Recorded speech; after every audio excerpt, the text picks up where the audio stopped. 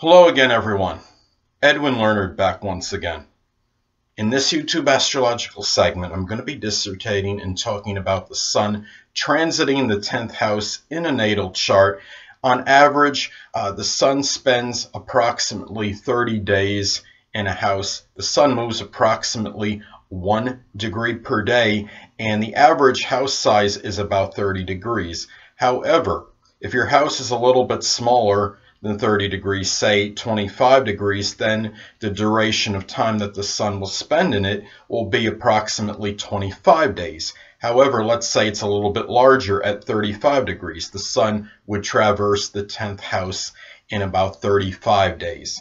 So anyway, the thing about this is at this point in time when the sun transits uh, the 10th house, this could be uh, very important uh, for you as far as career matters go, your livelihood, your reputation, your standing in your community. These things may figure more prominently on average for you uh, than ordinary than they would ordinarily. Even if you're a rather introverted and introspective person, this could be that time where you really want to stand out. This is a period where you generally don't want to be that shrinking violet, so to speak, and, and you don't want to kind of stay on the sidelines. You want to be able to be seen, and a lot of it can be connected with career uh, matters. And even if you're not seeking it, you may inadvertently or unwittingly come across some notoriety and, and perhaps greater popularity in your in during this period. There might be more recognition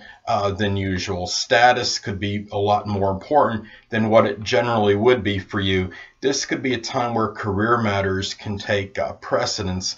Now, the sun, when it transits a house, that's that area where a person often wants to shine.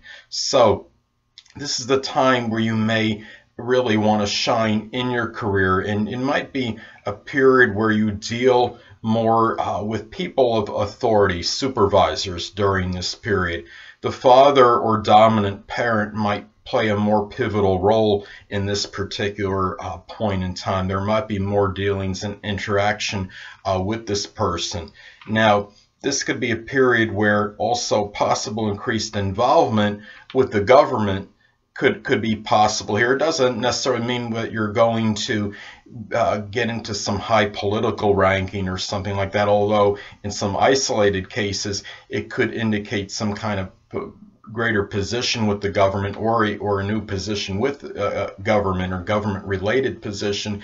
It could indicate somebody getting a government job. I mean, a postal job, I believe, is connected with the government. Or you might be involved more with something that's government related, like something applying for something that, that provide where there's government assistance involved. I mean, Social Security disability is connected with the government. So that's another uh, example, but it does, but but I don't. I think in most cases it it's not going to mean that you're going to be uh, you're going to become some prominent politician or something like that. Although if you already are in a position with the government, then it could indicate you might go to another level or higher ranking and, and be dealing more with people in that capacity in the government. So with politics, for example. So anyway, uh, also it could indicate now if this if the sun in the transit uh, has makes a number of adverse or negative aspects to your natal uh, planets during this point. Uh,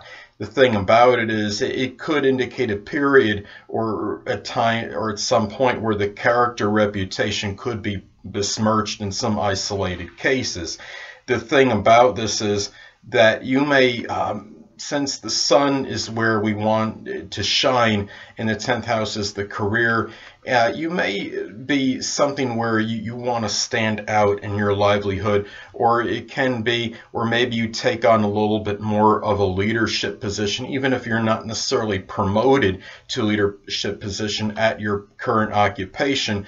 In your career, you might take on some leadership attributes and more ability as a leader by showing maybe some other people uh, some of the things that, as far as maybe, for example, maybe training some people in various uh, aspects of, of the job. So that is something to consider when you have the sun transiting the 10th house in a natal chart. You may be seeking also uh, accolades and recognition and approbation for what you do. You might really be seeking strong praise during this period in your career. The standing in the community can be of more significance at this time and really uh, can maybe be a, can in some cases be a focal point and if you like for example if you didn't have like say a neighborhood watch community it might be a period you'd be more inclined in this period to step up and maybe initiate something like that and be that leader that starts uh, that kind of group. So, and, and, really, it's about standing out, really standing out, and a lot of times in general, I think, when you have the sun transiting the 10th house uh, in your natal chart.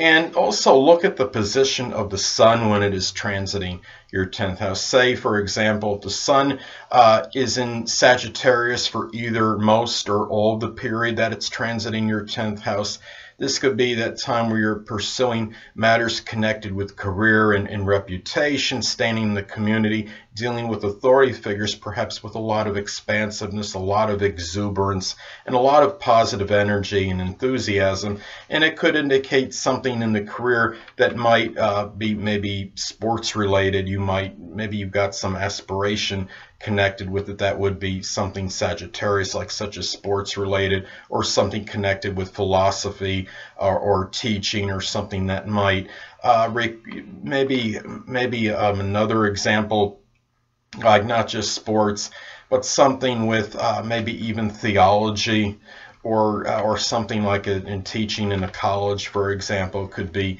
uh, some examples as far as um, Sagittarius goes. Now, let's say that uh, another example, if the sun was in Virgo for either the majority or all the period that it was transiting your 10th house, this could be a time where you might be more punctilious with details and career related uh, matters. And it could be something where maybe you get some position like in a Virgo-like field, such as something with, with analytics, something like a data analyst, for example, or statistician, something where details figure prominently. And it could just simply indicate, like say if it was in Virgo, like I stated before, in Virgo for majority or all of the period it was in the 10th house, it could indicate just showing uh, a lot of being very industrious and working and really emphasizing the, the work ethic, so to speak. So another uh, thing to look at too is if look and see also uh, in this trend in the sun transiting the 10th house what aspects